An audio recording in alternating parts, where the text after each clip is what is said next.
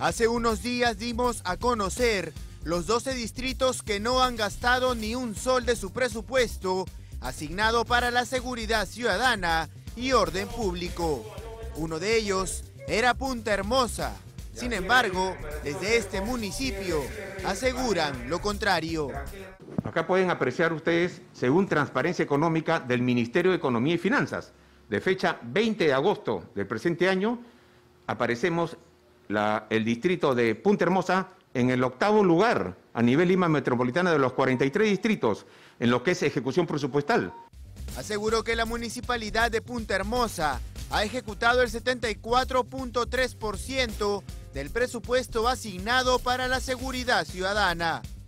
Una de sus últimas inversiones fue la compra de dos drones para combatir los robos y para vigilar los accesos principales.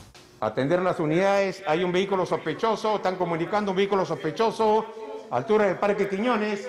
Ángel 1, Ángel 1, desplace su dron inmediatamente. Además le han dado otro uso a los drones, socorrer a los bañistas que puedan tener algún problema en la playa.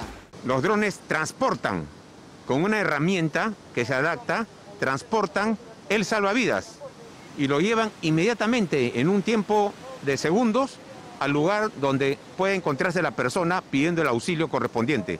Por supuesto que esto es complementado también con el personal de salvavidas, de salvataje, de la municipalidad y salvataje de la Policía Nacional. Este patrullaje aéreo también contribuye en la prevención de desastres naturales.